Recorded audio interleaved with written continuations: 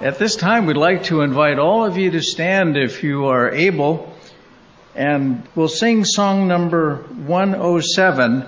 It's entitled, Come to Jehovah's Mountain. That's song 107.